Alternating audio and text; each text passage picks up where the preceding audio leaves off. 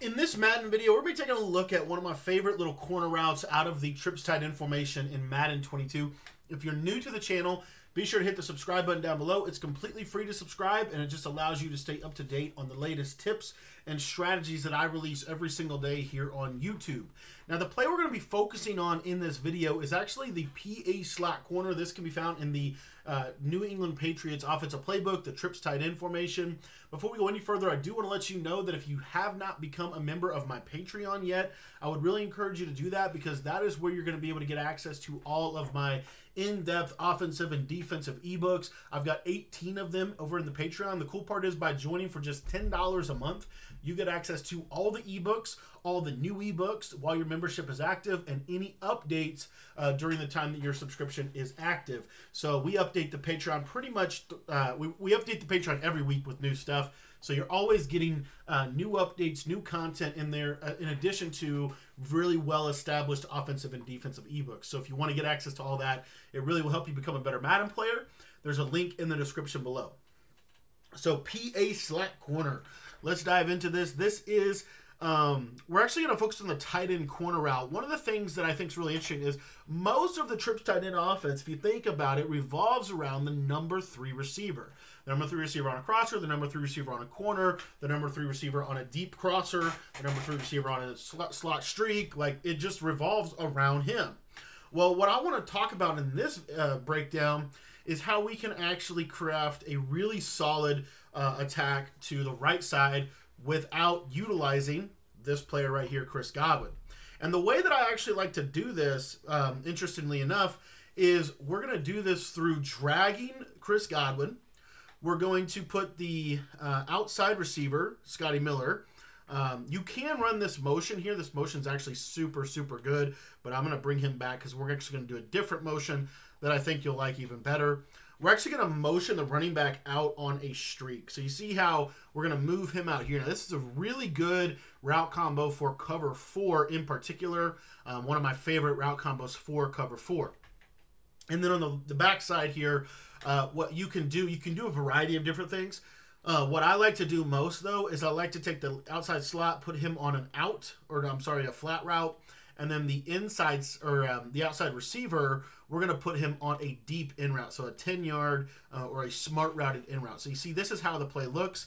Now, your first read is going to be to your running back, then you're going to look to your corner route, then you're going to look to your drag, and then you're going to work your backside concept. So here I'm looking at the streak. Okay, that's taken away. But then if I keep my eyes downfield, I'll notice that this corner route is really, really good.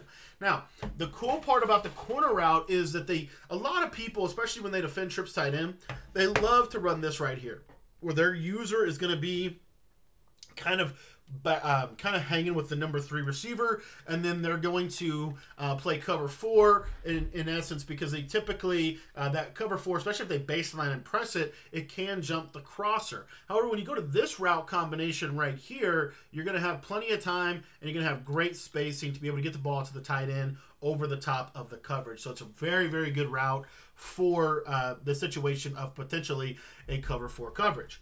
Now, cover three coverage, let's say they go to cover three, um, and I'm actually going to go to a different coverage out of the nickel three through five wide. You've probably seen this before, but this is the double Mabel concept. So I've got a cloud and I've got a, a hard flat. And what you're going to notice within this is they're going to have to drop their zones to 30 yard depth. And so because of that, if they're just a standard zone drop, you're going to throw this all day long. And you're actually going to get yourself in a position, especially if you run the route from the short side of the field, so your trips are to the short side of the field, there are situations that will come up where you'll actually be able to beat um, a 30 yard cloud. And the reason why is because, again, there's more space for that tight end route to run. I love to smart route the route. I think that's a real simple, easy, uh, easy way to do this. And then this right here, see how we can open up a lot of space over the middle of the field. In fact, if we were to streak the tight end in this example here, um, you're going to notice notice that the safety is the guy over the running back, right? So what you can see here is if my running back has a step, I can throw it to him. Otherwise, I'll just take my corner route, as you can see, and it's getting five yards over. So it's about a 35 to 40 yard uh, corner route on that side of the field. Now, the rest of the piece of this play, and I'm going to show it to you against cover two now, uh, we're going to start talking about some of the other routes, but I do want to show that the beauty of this is that this corner and streak concept here on the right will pretty much force them to have to have zone drops. Here you're going to see cover two. Cover two, honestly, probably does the best um, just because that fade will uh, kind of pull that cloud flat almost into a, a reasonable area uh, of which that it can make a play on the ball.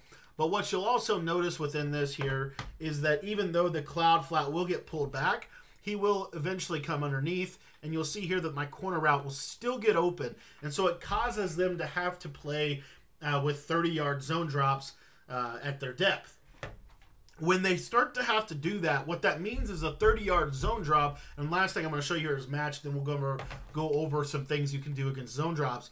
But if you think about it, a 30 yard zone drop, it has to be a cloud flat, which means the underneath coverage has to now be a curl flat zone, which is going to open up some other stuff here in just a second. If you look at match here, you will see the match does decent. Um, that's primarily a route running deal because Gronkowski's route running is not very good. Um, it doesn't quite get as open as it would if you're playing MUT and you've got a guy there that can actually get a separation in that coverage. However, this is not all is lost against match. what you'll see with match here is oftentimes this backside dig is going to be a great check down for you. The backside dig is really the the the beast of a check down pattern for what we're doing with the concept and uh, how we're going to run it. So what I wanted to do now is um, show you one last thing here. This is a kind of a man coverage. With man coverage, these corner routes this year are actually better than you might originally think, especially from the tight end. What you want to do with this is if you low if you low pass it, it'll be a back shoulder catch, and you see how you can fit that in against the man coverage. So what they're going to have to do is they're going to have to go into a 30-yard cloud type of situation where they're really dropping their zones deep down middle of the field. The problem is that's going to open up all of your underneath patterns. For example, if you take a look at this backside, like I said before, the purple zone is going to be the underneath zone. And purple zones, especially out of cover three, are going to be very vulnerable to this little route right here, this flat. This flat will almost always beat a purple zone, as you can see. It's very consistent. And what this does for your offense is it gives you a read. So if you see a ton of bail over the top here on the right, now you're free to come back over here and you can easily take your check down right there over the middle of the field. Now what you're probably going to get and try to Im imitate this as best as I possibly can is you're probably going to get something that kind of feels like a cover four. We've got a hard flat. We're going to imagine that this guy's a 30 yard cloud. We're going to deep uh, half this guy. And then, at best case scenario, there's going to be two people over the middle of the field that can defend you. The problem for the defense is what should happen in terms of how this all should come together is your deep dig should be wide open on the backside. So you look here and you see, oh, there's no grass over there. I can't throw that. I'm going to come backside and I'm now going to work my deep dig route over the middle of the field one of the better routes in the game. So that's how you can use this play to beat every coverage. Um, I really do think that there's a lot of value in this motion out to the running back. I think most people are kind of sleeping on how good this really is. This in particular setup, as far as how does it beat pressure, is actually really good against pressure, um, primarily against zone pressure, because you can hit your tight end real quick right here up the seam and it's a real easy read. So what that's going to do is it's going to force their user to have to kind of hedge and have to kind of protect against the tight end streak. Well, that's going to create a whole other slew of problems for them because now on the back side of this concept, before the pressure is going to be able to get there, we've got the drag and the dig to work backside. So you see here, I can come back here and I can throw my in route real quick if the users are the right. So based based off where their user is, that's where you're going to work the concept either to the left or to the right based on where the user goes and based off of if they're doing zone drops or not. So really, really fun little route combo here out of Trips Tight End. One of the more underrated ones in my opinion. And it's a real smooth route combo. I think you're going to find a lot of success with this offense.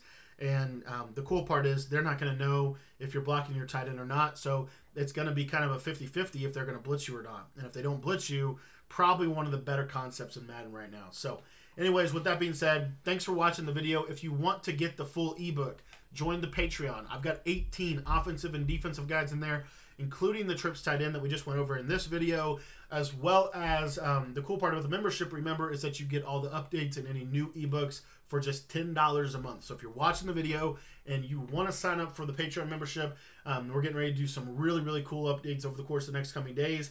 there's a link in the description. Go on down there and click that, and you can go check out the membership.